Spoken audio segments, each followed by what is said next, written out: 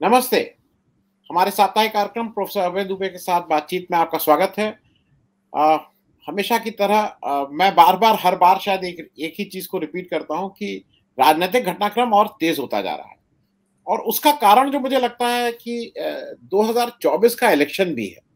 आ, अभी हाल की बहुत सी घटनाएँ हुई पिछले हफ़्ते। मैं उस पर प्रोफेसर साहब से समझने की कोशिश करूँगा क्या है। लोकसभा और राज्यसभा के कुल मिला के सत्ताईस सांसद। मतलब 25 तारीख को चार फिर 26 तारीख को उन्नीस फिर 27 को एक फिर 28 को तीन। 27 सांसद निलंबित किए गए हैं लगातार। दूसरी तरफ़ विपक्ष की लगातार मांग होती रही कि महँगाई जीएसटी अग्निपथ पे बातचीत हो। आ, सरकार का शुरू में कहना यह था कि अभी निर्मला जी जो फाइनेंस मिनिस्टर हैं वो अस्वस्थ हैं वो जब ठीक हो जाएँगे तभी हम इस पर बात कर सकते हैं। लेकिन कल निर्मला जी दिखाई दी और ईश्वर करे वो स्वस्थ थी स्वस्थ रहें। एक और चीज़ इस बीच हुई, वेस्ट बंगाल में जो ममता बनर्जी कैबिनेट के बहुत इंपॉर्टेंट उनके मंत्री थे, जिन्होंने, जो फाउंडर मेंबर थे तृणमूल कांग्रेस बनाने वाले पार्थ चटर्जी साहब, उनके एक मित्र के महिला मित्र के घर से बहुत मतलब पहले एक घर से बीस करोड़ मिला, फिर दूसरे घर से पच्चीस करोड़ मिला, फिर कोई नौ किलो सोना मिला नौ किलो सोने में मैं मैं अपने घर की बात बता दूँ मेरी पत्नी को नौ किलो सोने में ज़्यादा इंटरेस्ट था कि इसका दाम कितना होगा। खैर ये सब होता रहा और इस बीच आ, मैं पहली चीज़ ये समझू कि दुबे की ये हर अब स्टेट में आप देख रहे हैं एक दो मंत्री हालाँकि उनको निकाल दिया गया है उनको कैबिनेट मतलब मंत्रिमंडल से लेकिन महाराष्ट्र में वेस्ट बंगाल में दिल्ली में कुछ मंत्री जी लोग अब हवालात में जेल में है। ये पिछला घटनाक्रम जो हो रहा है, उसका एक जरा छोटा सा वो करिए, फिर हम लोग उसको एक डिटेल में बात करने की कोशिश करेंगे। देखिए, मुझे ऐसा लगता है कि इसमें जो लोग भ्रष्टाचार के आरोप में गिरफ़्तार किए गए हैं या जेल में हैं या प्रवर्तन निदेशालय के सामने उन्हें पेशी होनी पड़ती है, उसकी दो कैटेगरी एक कैटेगरी वो है जिसके नुमाइंदे पार्थ चटर्जी और उनकी जो उनके साथ काम करने वाली अर्पिता मुखर्जी हैं। एक तो कैटेगरी ये है। और दूसरी कैटेगरी वो है जिसमें आप सत्येंद्र जैन को रख सकते हैं और जिसमें आप राहुल गांधी और सोनिया गांधी को रख सकते हैं। उनको भी लगातार गबन के एक तथाकथित मामले में जिसमें कांग्रेसियों कहना है कि किसी एक नए पैसे का गबन हुआ ही नहीं है और उसमें लगातार उन्हें प्रवर्तन निदेशालय के सामने पेश होना पड़ता है। तो ये दो श्रेणियाँ हैं। एक श्रेणी तो ऐसी है पार्थ चटर्जी वाली जिसमें पहली बार ही जब उनके ऊपर प्रवर्तन निदेशालय ने छापा मारा था और अर्पिता मुखर्जी घर धन पकड़ा गया था। उसी वक्त आनंद फानंद में ममता बनर्जी को चाहिए था कि उन्हें मंत्री पद से हटा देती और उन्हें पार्टी से भी निकाल देती और उनसे अपना पूरी तरीके से नाता तोड़ देती। लेकिन ममता बनर्जी ने इस काम में देर की। जब तक उनके पास करोड़ों रुपए की दूसरी बड़ी किश्त न बरामद हो गई और जब तक सारे और उनके भेद नहीं खुल गए, जब तक ये पता नहीं चल गया कि कितने ज़्यादा फ्लैट हैं इनके नाम। देखिए जब इस तरह की कोई घटना हो और उसके ऊपर उसको सजा देने आ, के मामले में उसके नेता को थोड़ा संकोच हो तो ये चीज़ें बहुत सारी आ, बहुत सारे अंदाजे लगाने के लिए आपको मजबूर कर देती है। मैं ममता बनर्जी का बड़ा प्रशंसक हूँ। मुझे कहने में कोई संकोच नहीं है। और मेरे ख्याल से जो मैं जो प्रशंसा करना जा रहा हूँ उसमें आप भी साझेदार होंगे। ममता बनर्जी की एक बहुत बेहतरीन रणनीतिकार हैं। राजनीति में न केवल सत्ता कैसे पाई जाती है, उसके लिए किस तरह लंबा संघर्ष किया जाता है, बल्कि उसमें कैसे टिका जाता है, और भारतीय जनता पार्टी जैसी एक प्रचंड संसाधन संपन्न चुनाव लड़ने की मशीन को भी परास्त कैसे किया जाता है, ये काम वो जानती हैं, और ये एक असाधारण योग्यता है। लेकिन पिछले दिनों ममता बनर्जी ने अपनी इन असाधारण योग्यताओं को थोड़ा सा उनके महत्व को कम किया है। जिस तरीके से जिस तरीके से उनके अभिषेक बनर्जी के ऊपर इल्ज़ाम लग रहे हैं और वो उस उन, उन इल्जामों से वो बच रहे हैं और जिस तरीके से पार्थ चटर्जी के यहाँ इतना पचास करोड़ से ऊपर रकम मिली है कैश और तमाम संपत्ति पता चली है और बहुत सारी जेवरात पकड़े गए हैं। तो मुझे तो लगता यह है कि इससे ममता बनर्जी की साख को बहुत बट्टा लगा। है जी। जी। मैं, लेकिन प्रो साहब, एक एक दूसरा ढंग भी देखने का है, मेरा थोड़ा मतलब मैं अपने नज़रिए से कह रहा हूँ। देखिए बीजेपी में जहाँ एक तरफ़ टेनी जी जैसे लोग हैं, स्मृति ईरानी जी हैं टेनी जी के ऊपर बहुत खराब खराब रिमार्क हाईकोर्ट ने पास किए हैं। अभी परसों फिर कहा है कि भाई ये केंद्रीय मंत्री क्या तो एक तरफ़ ये भी देखना होगा कि जो शीर्ष नेतृत्व है बीजेपी का, वो अपने आदमी को चाहे वो हत्या करे, चाहे वो आदमी रौंदे, कुछ करे, उसका लड़का रौंदे, उसको बचाने का काम करते हैं। ममता बनर्जी के ऊपर भी ये प्रेशर तो रहता ही है भाई वो वो भी पावर पॉलिटिक्स में जो आपकी बात से मैं बिल्कुल इसको मानता हूँ कि जैसे आपने कहा ना दूसरे फ्लैट में मेरे कुछ साथी कह रहे थे कि अजीब आदमी है। जैसे आप कह रहे हैं ना दूसरा का वो कह रहे थे दूसरे फ्लैट में पैसा मिला कैसे? ये तो मतलब या तो इतना ज़्यादा पैसा है कि हर फ्लैट में है जहाँ जाइए वहाँ मुझे तो लगता है आनंद जी अभी और भी पैसा मिलेगा क्योंकि जो आज आज का टाइम्स ऑफ़ इंडिया आप देखिए टाइम्स ऑफ़ इंडिया की संपादकीय में एक बहुत दिलचस्प टिप्पणी की गई है कि ये काला धन छिपाने का बहुत ही ओल्ड फ़ैशन तरीका है। और ये ऐसा तब होता है, ऐसा तब होता है जब आपके पास धन बहुत ज़्यादा बढ़ जाता है। इतना ज़्यादा धन बढ़ जाता है कि आपकी समझ में नहीं आता कि इसको कैसे गलाएँ कैसे कैसे इसको छिपाएँ। मुझे एक हमारे चार्टर्ड अकाउंटेंट मित्र हैं जो बहुत वरिष्ठ हैं तो एक बार मैंने उनसे मज़ाक में कहा कि भाई इतना ज़्यादा राजनीतिक भ्रष्टाचार होता है अगर मेरे ड्राइंग रूम के फर्श पर सौ करोड़ रुपया नगद रखा हो तो मेरी तो समझ ही भी नहीं आएगा कि मैं कैसे क्या करूँ मतलब। तो उन्होंने मुस्कुरा कहा कि आपको चिंता करने की क्या ज़रूरत है आप मुझे बताइएगा बाकी काम मैं करूँगा। तो मैं ये कह रहा हूँ कि जब पैसा इतना ज़्यादा बढ़ जाए कि आपके ऐसे मित्र भी आपकी मदद न कर पाए। यानी जो काले धन को गलाने की तमाम युक्तियाँ विधियाँ होती हैं वो भी फ्लॉप हो जाएँ फिर ऐसा ही होता है कि आप उल्टे सीधे तरीके से ऐसी जगहों पर पैसा रखते हैं जहाँ पे आपके फंसने के बहुत ज़्यादा चांसेस रहते हैं। तो मुझे लगता है कि ये अब अब ये अभूतपूर्व राजनीतिक भ्रष्टाचार का मामला है और ये असंभव है।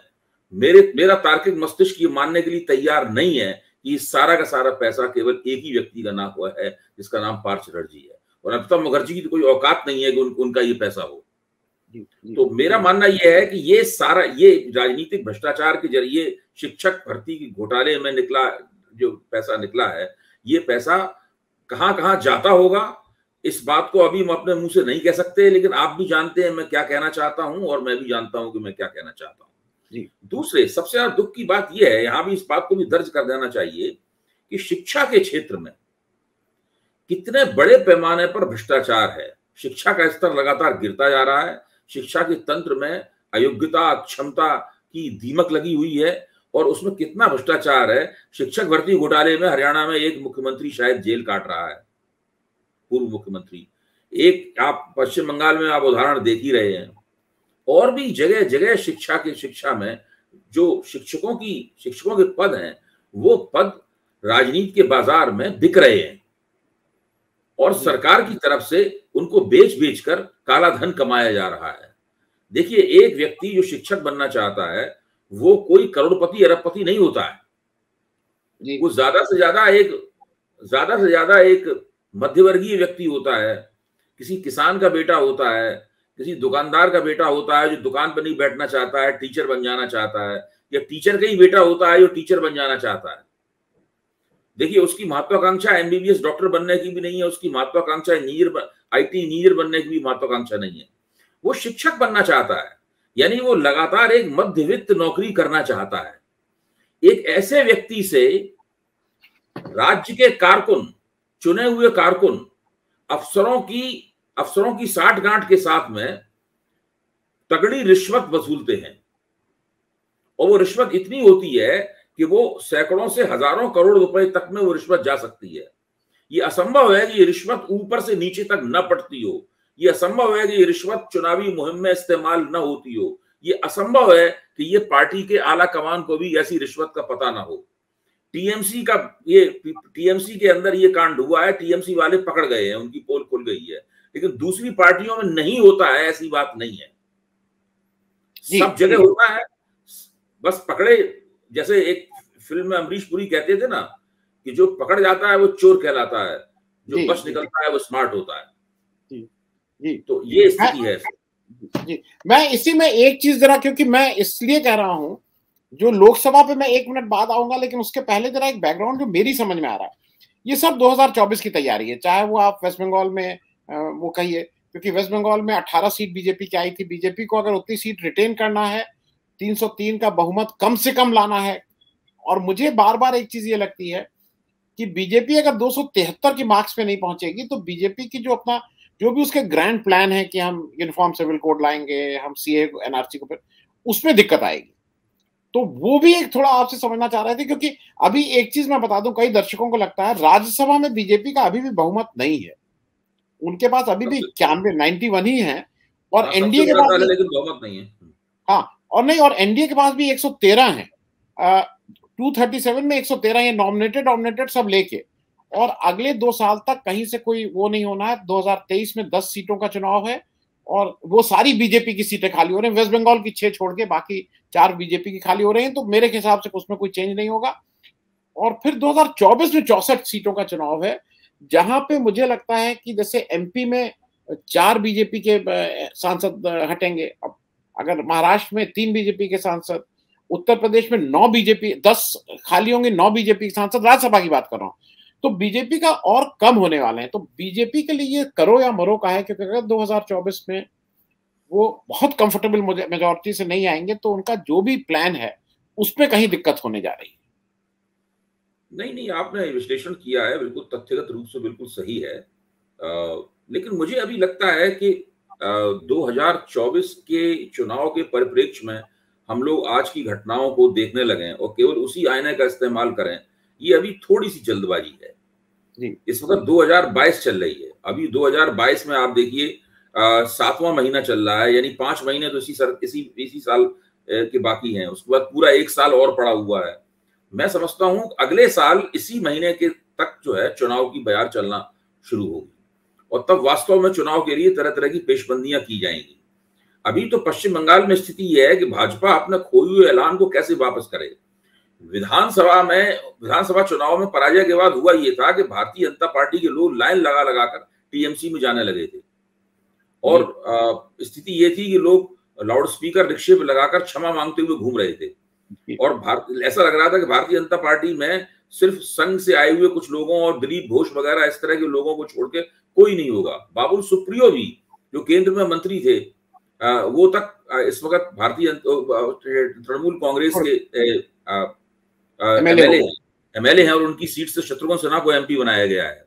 उसके बाद शत्रुघ्न सिन्हा से भी दिल्ली में हम लोगों की मुलाकात हुई और उनके साथ हम लोगों ने एक प्रेस कॉन्फ्रेंस भी की जिस तरीके से उन, उनका चुनाव चुनाव मुहिम वहाँ चलाई गई। उसके बारे में उन्होंने बहुत ही विस्तार से बताया। तो मैं ये समझता हूँ कि इस मौके का लाभ उठाकर भारतीय जनता पार्टी पश्चिम बंगाल में अपनी वापसी करनी चाहेगी। लेकिन दिक्कत यह है कि उसके पास पश्चिम बंगाल में नेता नहीं है। जिस व्यक्ति को वो नेता बना के पेश करना चाहती है, इसका नाम है मिथुन चक्रवर्ती।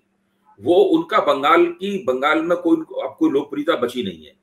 वो बहुत पुराना जमाना था जब मिथुन चक्रवर्ती को बंगाल में बहुत ही एक लोकप्रिय एक ऐसे सफल स्टार के रूप में देखा जाता था जिसने बंगाली होने के बावजूद हिंदी फ़िल्मों में एक्टर के तौर पर जगह बनाई। बहुत सारे बंगाली संगीतकार हिंदी फ़िल्मों में बहुत हिट हैं। बंगाली डायरेक्टरों ने लाजवाब काम किया है और बहुत से फ़िल्मों के दूसरे क्षेत्र हैं। उनमें बंगालियों ने बड़ी धाक जमाई थी। बंग, लेकिन बंगाली एक्टर हीरो के रूप में फ़िल्म स्टार के रूप में ऐसी स्थिति नहीं थी। विश्वजीत वगैरह हुआ करते थे।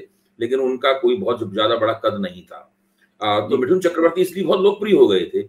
और ज़ाहिर है कि युवा पीढ़ी के अंदर भी उत्तर भारत की युवा पीढ़ी में भी लोकप्रिय थे। लेकिन मिठुन चक्रवर्ती का वो वक्त निकल गया है।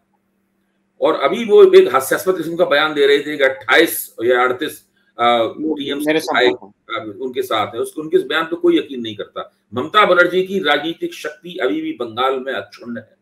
ऐसी बनी ही रहेगी इसकी कोई गारंटी नहीं है। लेकिन आप इस घटना के बावजूद ये कहना बिल्कुल नासमझी होगी कि ममता बनर्जी की राजनीतिक ताकत प्रभाव और उनकी जो पकड़ है बंगाल की राजनीति पे वो वो कम हुई है। अब देखिए घटनाक्रम किस तरीके से बढ़ता है। अगर भारतीय जनता पार्टी बंगाल की राजनीति में कोई वापसी कर सकती है तो इस घटना की मदद से कर सकती है। लेकिन कैसे वापसी करेगी? वापसी तभी कर सकती है जब आपके पास नेतृत्व दिलीप घोष की दम पर नहीं वापसी कर सकती। दिलीप घोष तो यही उसके इसी तरीके से वो मिथुन चक्रवर्ती के दम पर भी वापसी नहीं कर सकती। ये ये नेतृत्व भारतीय जनता पार्टी का पूरी तरह पिट चुका है। कैलाश विजयवर्गीय भी वहाँ बैठ के जब भारतीय जनता पार्टी की वापसी की गारंटी नहीं कर सकते। भारतीय जनता पार्टी को नेतृत्व चाहिए, जो बंगाल में उसके पास नहीं है।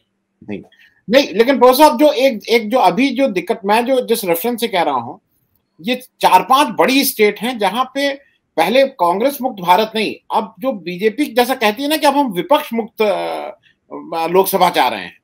क्योंकि ममता बनर्जी का वो बयान वो वो मूव अभी तक मेरी समझ में नहीं आया है। जब उन्होंने कहा कि हम धनकर जी का तो वो नहीं करेंगे, लेकिन मार्केट अलवा को हम वोट नहीं करेंगे। क्योंकि इनडायरेक्टली तो वो कहीं ना कहीं उनको सपोर्ट कर ही रही मैं अब दूसरे एक विषय पे भी आ जाऊँ। ये जो लोकसभा चल रही है, नवा दिन आज था आज कोई ऐसी उथल पुथल नहीं थी। लेकिन सुबह जब मैंने देखा, कोई बहुत भीड़ भी नहीं थी, कोई ऐसा हल्ला गुल्ला भी नहीं था। लेकिन सुबह ही चटपट वो हुआ पहले थोड़े बारह बजे तक एडजर्न हुई और फिर तुरंत एडजर्न कर दी गई यार मंडे को मिलेंगे। ये सरकार देखिए ये मैं बिल, बिल्कुल मानता हूँ कि विपक्ष की भी ज़िम्मेदारी है लेकिन सरकार की ज़्यादा ज़िम्मेदारी है चलाना। ये क्यों सेशन से भाग रहे हैं? क्यों नहीं फेस कर रहे हैं? देखिए जहाँ तक ममता बनर्जी द्वारा उपराष्ट्रपति हाँ हाँ उपराष्ट्रपति के चुनाव में जो उन्होंने स्टैंड लिया है उसका सवाल है। मैं आपकी आलोचना से मोटे तौर पर सहमत हूँ। आप पहले भी इस बात को रख चुके हैं इसी मंच के ऊपर तब भी आपने ये बात कही थी। उसके बाद मैं इसके ऊपर सोचता रहा। मेरा मानना है कि आपकी आलोचना मोटे तौर पर सही है। ममता बनर्जी धनखड़ के साथ में राज्यपाल के तौर पर ममता बनर्जी का जो बहुत ही कड़वा अनुभव रहा है ममता बनर्जी को तो खुल के उनका विरोध करना चाहिए था। और भले ही उनकी शिकायत में कोई दम हो कि भाई उनसे कुछ नहीं पूछा गया आ, तो मुझे लगता है इसके बावजूद भी उन्हें विपक्ष का जो भी उम्मीदवार हो उसके लिए उसके खिलाफ उन्हें उसके पक्ष में उन्हें वोट करना चाहिए और धनखड़ का पूरी तरीके से विरोध करना चाहिए। क्योंकि धनखड़ को ये जो इनाम मिला है, वो ममता बनर्जी को परेशान करने का ही इनाम मिला है। कुछ कुछ संयोग से उनके पक्ष में किसान आंदोलन में सरकार की जो किरकिरी हुई थी जाट किसानों के सामने तो वो थोड़ा उनके पक्ष में और चला गया है धनखड़ के पक्ष में। लेकिन मैं समझता हूँ कि असली बात जो है वो यही है कि वो ममता बनर्जी को जिस तरह उन्होंने तंग किया जो धनखड़ ने जो राज्यपाल गिरी की है आप बताइए। इस तरह का राज्यपाल आमतौर पर केंद्र के एजेंट के तौर पर काम करते हैं लेकिन धनखड़ ने तो उसकी सारी सीमाएँ लांग दी। मैं मैं प्रोफेसर साहब एक चीज़ और समझना चाहूँगा ये जो स्मृति ईरानी जी ओवर चार्ज होके जो उन्होंने जिस तरह का एक मतलब मुझे ऐसा लगता है कि अगर वो कुछ नहीं बोली होती कांग्रेस अपना प्रेस कॉन्फ्रेंस करके निकल जाती कौन होता है? बहुत सी प्रेस कॉन्फ्रेंस होती है। और मैं एक एग्ज़ाम्पल की वजह से बता रहा हूँ। जय शाह के ऊपर जब आरोप लगा था और कई आरोप लगे थे और इनिशियली उनका रिएक्शन आया था कि मानहानि का मुकदमा करेंगे वो शांत हो गए। आज कोई बात भी नहीं करता है जय शाह की कि वो जो एक उनका पचास हज़ार से या पचास लाख से कितने करोड़ की कंपनी हो गई। उसी तरह से इन्होंने जो एक इनकी आदत पड़ गई ना हर चीज़ में बहुत ज़्यादा एग्रेसिव होना शब्दों का चुनाव बहुत खराब करती हैं। उसमें कहीं आपको लग रहा है कि कल भी जो हुआ पार्लियामेंट में वो थोड़ा स्मृति ईरानी और भाजपा दोनों के लिए बहुत अच्छा नहीं है। देखिए आपको तो ध्यान ही होगा कि स्मृति ईरानी की बेटी और उसका जो तथाकथित बार है उस पर कांग्रेस के नेताओं ने जयराम रमेश ने और पवन खेड़ा ने आरोप लगाया था। ममता बनर्जी और सॉरी स्मृति ईरानी ने उनको कानूनी नोटिस भी दे रखा है कि आप लिखित रूप से माफ़ी मांगिए हमसे वरना हम आपके ऊपर ऐसा ऐसा मुकदमा कर देंगे। तो अभी वो एक अपने आप को उनकी आदत है एक घायल शेरनी के तौर पर पेश करना। आपको याद होगा जब रोहित वेमुला प्रकरण हुआ था। जी जी। तो वो मानव संसाधन मंत्री थी हैं? तब भी उन्होंने संसद में इसी प्रकार का एक अति आक्रामक रवैया अपनाया था। तब भी उन्होंने मैं भी एक माँ हूँ वगैरह कहकर उन्होंने बहुत ज़्यादा अपनी छाती ठोकी थी उन्होंने। तो ये उनका, ये उनकी शैली है और उस शैली के कारण वो भारतीय जनता पार्टी के अंदर काफ़ी ब्राउनी पॉइंट्स हासिल करती हैं, काफ़ी लोकप्रिय भी हैं। मेरा मानना है कि प्रधानमंत्री नरेंद्र मोदी भी शायद उन्हें उस शैली के कारण उनको विशेष प्रोत्साहन देते होंगे। और उसके बाद रोहित गोविला प्रकरण में और मानव संसाधन मंत्री के तौर पर उनका प्रदर्शन अच्छा नहीं रहा। उन्हें उस मंत्रालय से हटा दिया गया। और उसके बाद फिर लोकसभा का वो चुनाव लड़ी और उन्होंने अमेठी संजय अमेठी से उन्होंने राहुल गांधी को चुनाव हरा दिया। तो ये सब पूरा पूरा उनका जो राजनीतिक इतिहास है उसमें उनकी ये विशेष किस्म की आक्रामक शैली उनके लिए लाभकारी रही है। और इस वक्त तो थोड़ी सी वो आहत भी हैं अपनी बेटी उनकी बेटी जिस तरह से कांग्रेस ने विवादग्रस्त की। और फिर उसके बाद ट्विटर पे एक बहुत एक एक, एक मुहिम चली। उस मुहिम में इनके कुछ कथनों को वो पेश किया गया।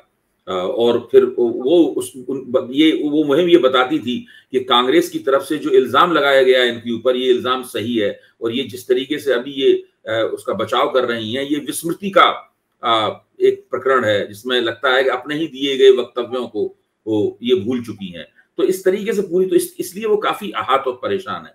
क्योंकि जैसा अगर वो आरोप जो रमेश जो उनके ऊपर लगाया गया अगर उस आरोप में कुछ सच्चाई पाई गई क्योंकि उसके अंदर गलत नाम से झूठे नाम से एक लाइसेंस लेने वाली बात भी है तो फर्जीवाड़े का और धोखाधड़ी का मामला बता है। अगर वो आरोप जरा भी सही पाया गया तो इनका मंत्रिमंडल इनका जो मंत्रिपद है वो शासन में फंस जाएगा। जी। उसके बाद नरेंद्र मोदी केवल मंत्रिमंडल बदल के इनको नहीं बचा पाएँगे। जी। वो कितना भी कितना कितना भी इनको एक नायिका के तौर पर देखते हो एक राजनीतिक भाजपा की एक राजनीतिक नायिका के तौर पर देखते होंगे जिसने सोनिया गांधी के बेटे को कांग्रेस के अध्यक्ष को चुनाव में हराया है। ये मंत्री पद इनका नहीं बच पाएगा इसलिए ये कुछ परेशान भी हैं और उसके चलते उन्होंने एक अतिरिक्त आवेश में आकर लोकसभा में इस पूरे प्रकरण में भाग लिया। मैं प्रोफेसर मैं एक चीज़ और कहूँ क्योंकि कल का जो प्रकरण हुआ उसमें मैं दो वजह से मुझे ऐसा लगता है। एक तो भाजपा के पीछे की जो भी शीर्ष नेतृत्व है उसका हाथ था उसकी बैकिंग थी कि हाँ ठीक है इट हैज़ दी सैंक्शन और दूसरा मैं इसलिए कह रहा हूँ कि जब स्पीकर कल आए अगर आप फिर से उसको देखिएगा जब स्पीकर ग्यारह बजे वहाँ आए हैं और अभी बैठे भी नहीं थे ठीक से कि ये शुरू हो गई थी। जनरली हम्म। क्या हरदम ये speaker is the presiding officer of the house speaker ही जब आपको आप कहते हैं कि भाई मुझे कुछ कहना है तो फिर स्पीकर आपको अलाउ करता है फिर आप बोलते हैं। स्पीकर ने कुछ बोला भी नहीं। नंबर एक। नंबर दो ये कल जिस तरह से अच्छा हाउस में हरदम कहा जाता है कि आपको प्रिसाइडिंग ऑफिसर से बात करनी है आपको चेयर से बात करनी है आपको इंडिविजुअली कल ये जैसे सामने और जिस तरह से ये एग्रेसिव होकर एक बार भी ओम बिरला जी ने एक बार भी एक बार भी प्रयास भी नहीं किया कि इनको कहें कि भाई आप मुझसे बात करिए आप उनसे क्यों कर? तो ये कहीं ना कहीं मिली जुली तो था मतलब ये पीछे से सैंक्शन है। नहीं है आप तो आप जो बात कह रहे हैं इसको तो कोई भी उस दृश्य को देखता हो इसी न, इसी नतीजे पे पहुँचता इस नतीजे पे आप पहुँचे हम लोग तो केवल उन पर उन उन उन कारकों का विश्लेषण कर रहे हैं जिनकी वजह से उन्हें ये सब करना पड़ा। और मुझे लगता यह है कि अभी कुछ दिनों भारतीय जनता पार्टी की तरफ़ से स्मृति ईरानी को एक मुख्य संघर्षकारी कांग्रेस से टक्कर लेने वाले सोनिया गांधी के मुकाबले खड़े हुए, खड़ी हुई हस्ती के रूप में पेश किया जाता रहेगा। और इस इस घटना के बाद खास तौर से जब सोनिया गांधी के साथ उनकी बहस हुई और अपनी किस्म की बहस हुई, सोनिया गांधी बड़ी परेशान लगी और जिस तरीके से उन्होंने एक पत्रकार से उन्होंने कहा सोनिया गांधी ने मुड़कर ही has already apologise Adhir Ranjan Chowdhury जो अक्सर कांग्रेस को अपनी ढीली ज़ुबान के कारण सांसद हाँ सांसद में डालते रहते हैं और इस बार जो उन्होंने कहा वास्तव में अक्षम्य किस्म का कहा अक्षम्य किस्म की बात थी। और मैं नहीं मानता हूँ कि ये बंगालियों की हिंदी इतनी खराब होती है। बिल्कुल गलत बात है। इतना पुराना नेता इतने लंबे अरसे से जो सांसद है जो बंगाल में इतने दिनों से राजनीति कर रहा है, इतने बड़े बड़े पदों के ऊपर जो व्यक्ति रहा है, विपक्ष का नेता भी पिछले बार भी वो थे अधीर रंजन चौधरी। तब भी उन्होंने एक बार इस तरह की कोई बात कही, तब भी उन्होंने ये कहा था कि मैं बंगाली हूँ, मेरी हिंदी खराब है। बिल्कुल गलत कहते हैं। इतना पुराना नेता राष्ट्रपति और राष्ट्रपत्नी के बीच में फ़र्क ना जानता हो। ये बिल्कुल बिल्कुल नामुमकिन है। ये ज़रूर उन्होंने जो बात कही है इसके पीछे ज़रूर उनके दिमाग में शरारत की भावना होगी। जब जो प्रतिक्रिया हुई और जब वो पकड़े गए तो अब वो इस तरह की बात कर रहे हैं। ये जो राजीव रंजन चौधरी जैसे लोग कांग्रेस का कोई भला नहीं कर सकते। जी। नहीं नहीं और एक और चीज़ है। भाई प्रतिभा पाटिल जी भी तो एक राष्ट्रपति रही है। हाँ, तो ऐसा नहीं है कि और ये उस समय भी नेता थे तो ये नहीं। मैं एक चीज़ बिल्कुल गलत बात है। देखिए ये हम लोगों को गलत को गलत और सही को सही कहना चाहिए। अगर कांग्रेस वास्तव में कुछ हासिल करना चाहती है तो ऐसे नेताओं का विकल्प कांग्रेस को खोजना चाहिए। नहीं और इनको मुझे अभी भी लगता है कि इनको उसी समय देखिए एक और चीज़ है जब ये कल ये कह रहे थे कि मुझे उसी समय पता लग गया कि मैंने गलत कहा मैं उसको पत्र अरे भाई अगर गलत कहा तो ट्वीट कर देते आजकल तो हर चीज़ से ट्वीट पे है। आप ट्वीट दो लाइन का कर देते कि मैंने ये कह दिया मुझसे गलती हो गई है मैं माफ़ी चाहता हूँ मामला वहीं खत्म हो जाता। लेकिन जैसा आप कह रहे हैं ना मुझे लगता है कि ये जैसे ये मुश्किल में कांग्रेस को डाल रहे हैं मैं एक आखिरी सवाल करके खत्म करूँगा। लेकिन मेरी अपनी रीडिंग यह है कि जो भी कल स्मृति ईरानी जी ने किया है लार्जर वो ठीक है। लेकिन चूँकि उन्होंने सोनिया गांधी के साथ जो किया है उससे मुझे मेरे हिसाब से कांग्रेस का फ़ायदा हुआ है। किस लिहाज से आप कह रही हैं एक तो उन लोगों में थोड़ा आपस में जोश आया है जो वो जोश दिखाई नहीं पड़ता था। जो पिछले एक दो साल से वो तो ऐसे ही मतलब पड़े हुए थे कुछ नहीं। एक जोश आया है। दूसरा एक थोड़ा कहीं को लग, लोगों को लगा है कि भाई एक सीमा होती है। उस सीमा को लांग कल स्मृति ईरानी लांग गई है। क्योंकि ये बहुत कॉमन चीज़ है और हम और आप भी करते हैं। अगर कोई बहुत इस तरह की बातें करता है आप उससे बात नहीं करते हैं। आप मोहल्ले में रिश्तेदार में दोस्त मित्रों में आप बहुत से लोग होते हैं जिनको अवॉइड करते हैं यार इससे क्या बात करें ये अजीब तरह की बात करेगा। तो और इनका फिर जिस तरह का अगर इस बात से जोश आ सकता है तो वो आ जाना चाहिए और मैं मैं तो सोचता मैं तो उसकी सराहना करूँगा कि उनमें जोश आ जाए।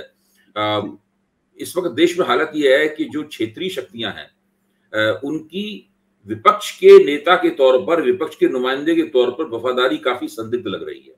ये राष्ट्रपति के चुनाव में दिख गया है और उपराष्ट्रपति के चुनाव में भी बार बार ये दिखेगा कि वो विपक्षी शक्तियाँ जो हैं वो भारतीय जनता पार्टी का विरोध करने के लिए या विपक्ष की राजनीति करने के लिए वचनबद्ध नहीं दिखाई पड़ती है। क्षेत्रीय शक्तियाँ। तो अब सवाल यह है कि भारतीय जनता पार्टी के विपक्ष का निर्माण कौन करेगा? तो अब केवल कांग्रेस ही बच जाती है मोटे तौर पर राष्ट्रीय स्तर पर जो भारतीय जनता पार्टी के खिलाफ एक तरह से समझौताहीन रवैया दिखा सकती है। और राहुल गांधी की जो बातें हैं वो अक्सर समझौताहीन रवैया दिखाती हैं। आ, लेकिन मुझे इसमें एक शक लगता है। वो शक ये है कि मुझे लगता है कि किसी न किसी तरीके से नरेंद्र मोदी के पास और भारतीय जनता पार्टी के पास। कांग्रेस को भी सांसद में डालने और उनको उनको कोने में धकेलने की वो युक्तियाँ हैं। जो युक्तियाँ वो अन्य विपक्षी नेताओं के खिलाफ इस्तेमाल करते हैं। और जब वो उन युक्तियों का जम के इस्तेमाल करते हैं, उस वक्त कांग्रेस विपक्ष की एक, जुझारू विपक्ष की भूमिका निभाने से थोड़ी सी बाज आती हुई दिखाई पड़ती है। इस वक्त स्थिति यह है कि कांग्रेस ने बिल्कुल उनकी साख गिराना भाजपा ने कांग्रेस की साख गिराना बिल्कुल तय कर लिया है।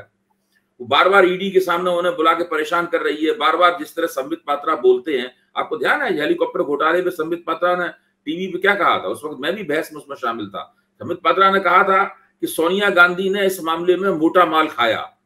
और खूब चिल्ला चिल्ला के इस बात को कहा था उन्होंने, नाम लेके कहा था, सोनिया गांधी ने मोटा माल खाया। मैंने उसी वक्त उन्हें चुनौती दी थी कि अगर आप राष्ट्रीय पार्टी के प्रवक्ता हैं, सरकारी पार्टी के प्रवक्ता हैं। आपको यकीन होगा कि आप तथ्यात्मक रूप से बोल रहे हैं। मैं आपकी बात का खंडन किए बिना आपसे कहना चाहता हूँ कि अगर सोनिया गांधी ने वास्तव में वही किया है जो आप कह रहे हैं तो आप यहाँ से सीधे जाइए, उनके खिलाफ एफआईआर दर्ज कराइए। हथकड़ियाँ पहनवाइए और उनको जेल भिजवाइए। क्योंकि अगर किसी रक्षा सौदे में किसी नेता ने मोटा माल खाया है, लेकिन ऐसा नहीं किया कांग्रेस ने कुछ भी तो वो टीवी डिबेट्स के ज़रिए प्रवर्तन निदेशालय के ज़रिए इनकम टैक्स के ज़रिए और इसी तरह की अपनी जो सीबीआई के ज़रिए वो कांग्रेस की साख गिराने की नीति पर चल रहे हैं। ये सारा पूरा का पूरा प्रकरण हो रहा है, इसीलिए हो रहा है। मुझे तो लगता यह है कि कांग्रेस को अब अधिक आक्रामक हो ही जाना चाहिए। वो कब आक्रामक होगी कांग्रेस? अब नहीं होगी तो कब होगी? अब तो अस्तित्व का खतरा सिर पर खड़ा हुआ है। बहुत बहुत धन्यवाद दुबे बात करने के लिए अगले हफ़्ते तक देखिए, चीज़ें तब तक हो जाएँगी क्योंकि लोकसभा शायद ईश्वर करे कि अगले अगले हफ़्ते कुछ चले कुछ दिन कुछ तो बहस हो। बहुत बहुत धन्यवाद। नमस्कार।